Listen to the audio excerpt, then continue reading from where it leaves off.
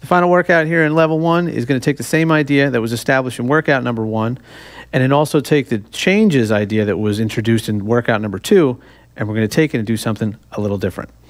So let me just get right into it, and I'll show you what's going on. So on the high E string, you're not going to play an A Mixolydian scale anymore. What you're going to do is play an E harmonic minor scale. So here's the pattern.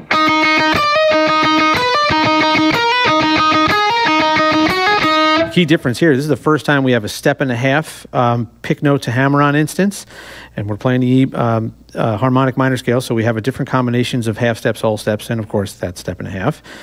So that's what's going to happen on the higher string of your pair, and then when you go down to the lower string of the pair, you're going to play um, the five chord of harmonic minor. You're going to play, in this case, B Phrygian dominant.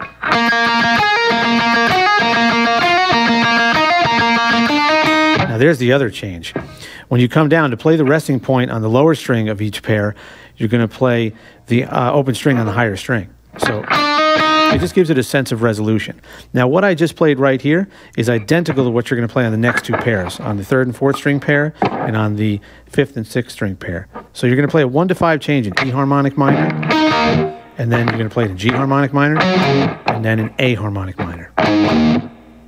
So once again, you'll have your resting points, both for your muscles and for your mind, so you're able to easily build up these workouts and get them up to the tempo that you want them to be at.